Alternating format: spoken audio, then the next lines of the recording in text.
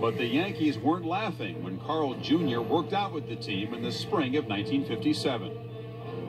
A scout named Ray Garland had looked at him in the stadium, and then they went to Yaz's house. So finally, it came down to where my dad wrote a figure down, and a Yankee scout wrote a figure down. They exchanged papers. And Carl got accepted to Notre Dame, and my dad wanted the Yankees to guarantee that in the off season he would go to South Bend to get his education, and he wanted the Yankees to pay for it. The scout the Yankees threw the pencil up in the air and hit the ceiling of the house, and he says, nobody ever received a bonus like this from the New York Yankees.